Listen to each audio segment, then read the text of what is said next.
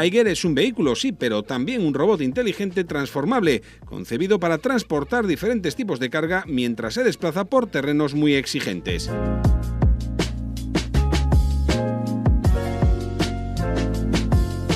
Este prototipo de Hyundai demuestra su capacidad en terrenos remotos e inaccesibles. Funciona como una plataforma móvil de exploración científica en lugares extremos y remotos.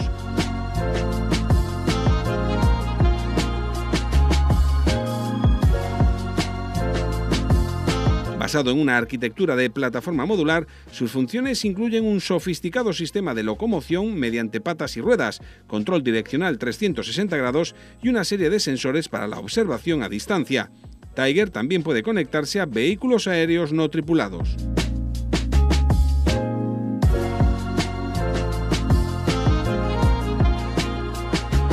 Su gran compartimento de carga le permite transportar mercancías para su distribución o ser desplegado para entregar paquetes de ayuda en situaciones de emergencia.